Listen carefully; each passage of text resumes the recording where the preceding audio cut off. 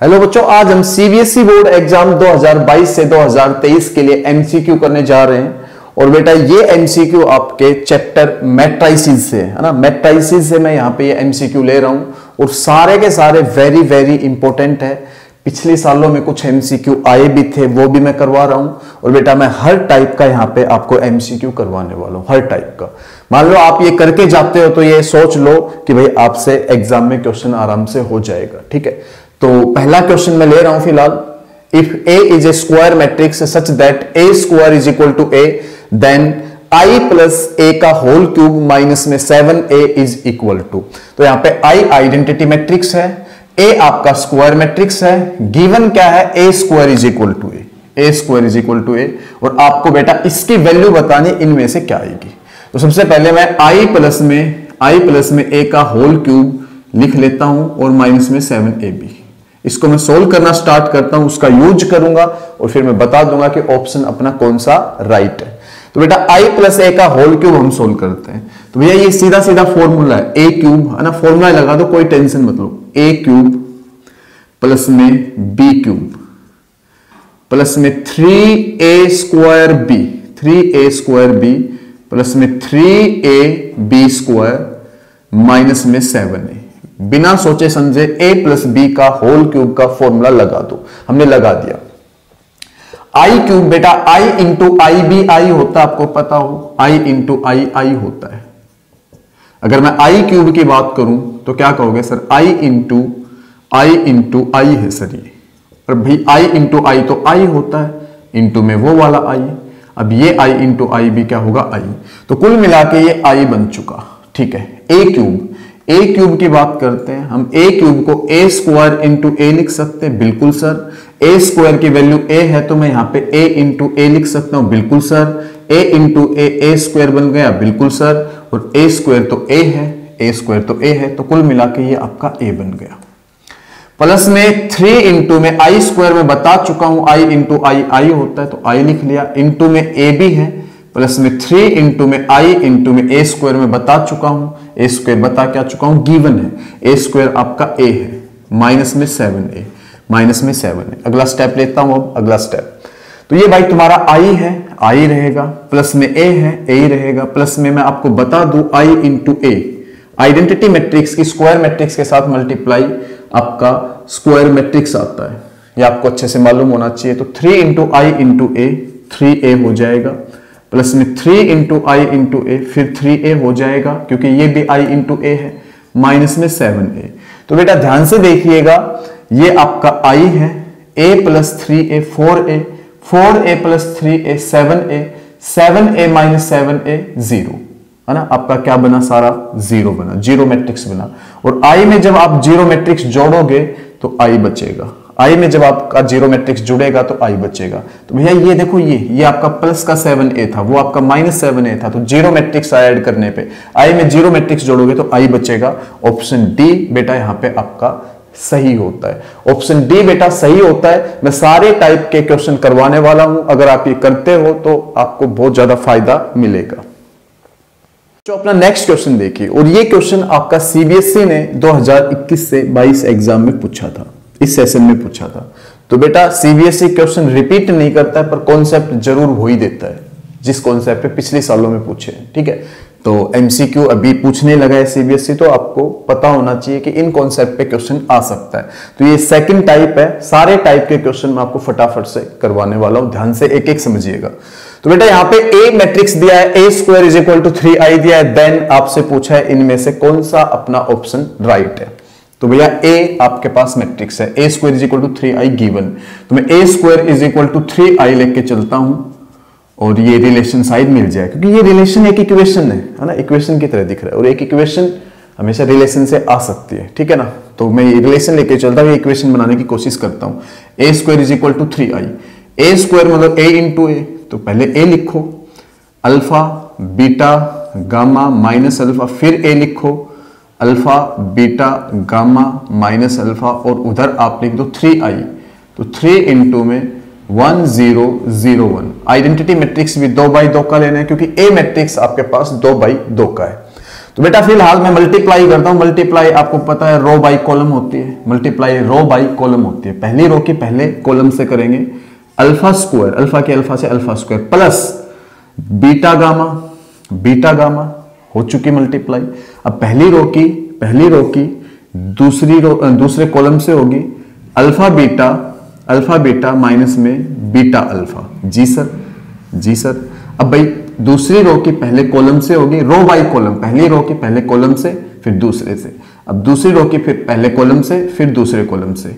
तो alpha gamma alpha minus में alpha gamma अब इसकी उसके साथ gamma beta gamma beta minus minus plus का अल्फ़ा स्क्वायर उधर बेटा आपका आ रहा है, तीन अंदर जाएगा थ्री ज़ीरो ज़ीरो थ्री तो मैं आपको बता दूँ, ये ज़ीरो बन चुका कट के ये ज़ीरो बन चुका, ये भी कट के बेटा ज़ीरो बन चुका।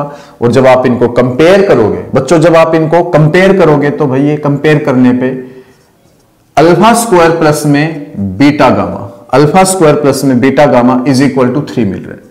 तो बेटा कंपेयर करने पे आपको ये मिल रहा है। अल्फ़ा स्क्वायर प्लस में beta gamma is equal to three तो भैया ये आप चेक करो, ये चेक करो कहाँ से के अल्फ़ा स्क्वायर भी बोला है plus beta gamma is equal to three बोला अल्फ़ा स्क्वायर ये रहा।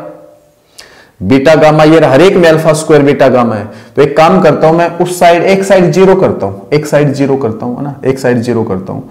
मैं इसको इधर लाता हूँ। तो अल्फ़ा स्क्वायर प्लस में beta gamma minus three is equal to zero अब चेक करता हूँ। कोई ऑप्शन बनता है, अब भी कोई ऑप्शन नहीं बना क्योंकि थ्री आपके प्लस के तो मैं दोनों साइड माइनस से मल्टीप्लाई कर दूँगा, सीधी सी बात है। तो बेटा माइनस से मल्टीप्लाई करोगे तो प्लस का तो थ्री हो गया। माइनस का अल्फ़ा स्क्वायर हो गया माइनस का beta gamma is equal to zero अब चेक करते हैं। Three minus alpha square minus beta gamma is equal to zero option C correct है। तो थोड़ा सा बेटा इन पे ध्यान देना है, थोड़ा सा ध्यान देना है। मैं आपको हर टाइप के क्वेश्चन फ़िलहाल करवा रहा हूँ। बेटा ये कर लो इंपॉर्टेंट है। बेटा अपना नेक्स्ट क्वेश्चन देखते हैं, ये भी बहुत प्यारा क्वेश्चन है, ये भी सीबीएसई ने 2021 से 22 एग्ज़ाम में दिया था। तो यहाँ पे बोल रहा है कि the number of all possible matrices of order two by three with each entry one और टू इंच आपको वो सारे मेट्राइसिस बताने हैं जो दो बाई तीन ऑर्डर के हो और उनकी एंट्रीज या वन और टू हो। उनकी एंट्रीज क्या हो? वन और टू हो। तो मैं देखो कैसे करूँगा इस क्वेश्चन को। Very very very very important तो पहले दो बाई तीन का मैट्रिक्स बनाते हैं, जिसमें दो रो हो और तीन कॉलम। दो रो, तीन कॉलम मैट्रिक्स ऐसा होता है। तीन कॉलम हो चुके और दो रो हो चुकी। अब आपको करना क्या है? ये क्वेश्चन परमोटेशन का है, अरेंजमेंट का है। किसका बेटा? अरेंजमेंट का। तो आपको दो बाई तीन का एक मैट्रिक्स बनाना है और फिर आपको ये एंट्रीज क्या करनी है उसमें? एंट्रीज जो वन टू थी, उनमें कुछ भी नहीं करना। हर एलिमेंट में अगर एंट्रीज वन और टू है तो यहाँ पे आप टू भर सकते हो वन भी भर सकते हो और टू भी भर सकते हो, दोनों चीज़ भर सकते हो। तीन होते तो जैसे आपके पास ज़ीरो वन फाइव ऐसे होता तो तो यहाँ पे तीन के तीन एलिमेंट भर सकते थे। तो यहाँ पे आप या तो वन भर सकते हो या टू भर सकते हो मतलब दोनों एलिमेंट भर सकते हो। सेम यहाँ पे भी आप दोनों एलिमेंट में से कोई सा भी भर सकते हो, यहाँ पे भी यहाँ पे भी यहाँ पे भी यहाँ पे भी तो परमुटेशन का मतलब यही होता है कि पहले तो आप चीज़ों को केस वाइज लिख लो भाई। जैसे कि यहाँ पे आप वन और टू दोनों के दोनों भर सकते हो वन और टू दोनों के दोनों भर सकते हो, दोनों के दोनों भर सकते हो। और फिर चीज़ों की क्या कर दो? मल्टीप्लीकेशन है ना? एक ही काम को करने के अलग अलग तरीके ऐड होते हैं। ये है परमुटेशन का मतलब। एक ही काम को करने के अलग अलग तरीके ऐड मतलब यहाँ पे वन भी भरा जा सकता है टू भी। तो वो दोनों हमने ऐड कर लिया मतलब पहला तरीका और दूसरा तरीका, दो तरीके दो तरीके ऐड करके दो बना। ये ऐसे ऐड मत कर देना वन प्लस टू थ्री ऐसे नहीं कह रहा हूँ मैं। एक ही काम को करने के दो तरीके या तो वन भर सकते हैं या दो भर सकते हैं। तो दो तरीके हो गए तो दो तरीके ऐड होके दो बन गए। ठीक है? ये भी दो, ये भी काम करने का तरीका दो, ये भी काम करने का तरीका दो, ये काम करने के भी दो तरीके, ये काम करने के भी दो तरीके, ये काम करने के भी दो तरीके। और फिर फाइनल क्या कहता है प्रमोटेशन कि भाई फाइनल अगर आपको जब आंसर निकालना होता है तो उन सब तरीकों की क्या कर दो? मल्टीप्लीकेशन जितने भी केस बने, उनकी मल्टीप्लीकेशन कर दो। दो गुना दो गुना दो गुना दो गुना दो गुना, दो। तो भैया, ये दो की पावर छह हो गया। दो की पावर छह। और दो की पावर छह होगा चौसठ। क्या होगा? Sixty four. सिक्सटी फोर होगा बेटा। अच्छा क्वेश्चन है, कर लीजिएगा। ऑप्शन सी करेक्ट है। ऑप्शन सी करेक्ट है। और सीबीएसई ने दिया था आपकी बात फिर रिपीट कर सकता है। बस यहाँ पे एंट्री चेंज कर देगा। और एक और दो की बजाय दो चार और एंट्री लगा देगा। ठीक है? चलते आगे।